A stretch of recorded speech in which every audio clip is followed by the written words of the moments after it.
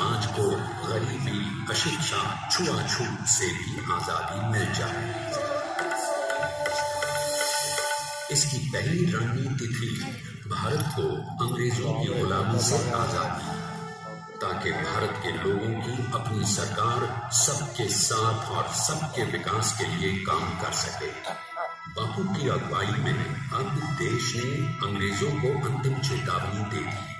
करेंगे या side